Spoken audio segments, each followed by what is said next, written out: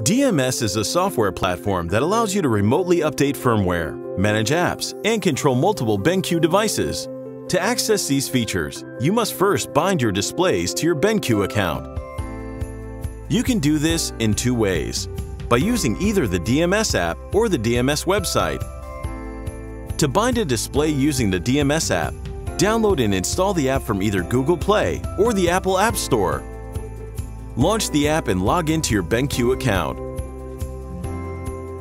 If you don't have one, you can register at dms.benq.com.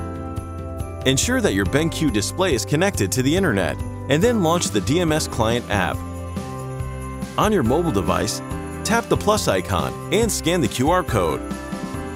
You can add a description to make it easier for you to identify the display. Tap Add to bind your device.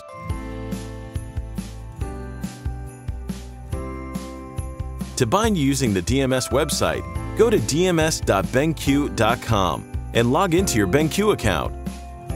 On your BenQ display, launch the DMS Client app. A temporary pairing code will appear.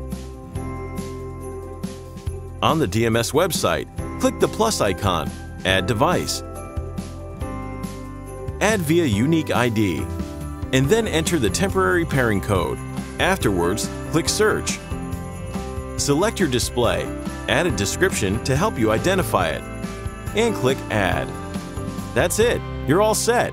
You can now use DMS to remotely monitor and manage your BenQ devices.